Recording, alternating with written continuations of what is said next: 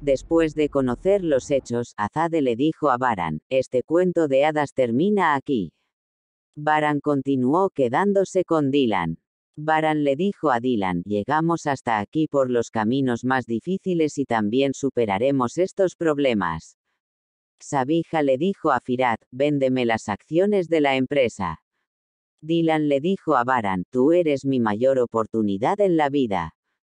Hassan, por el contrario, estaba elaborando un plan conjunto con Zebair. Seyit y Kudret estaban tomando medidas contra Hassan. Hassan hacía planes a sus espaldas. Dylan le dijo a Baran, te amo mucho, y Baran dijo, yo también te amo, mi bella esposa. ¿Cómo superarán Baran y Dylan estas dificultades?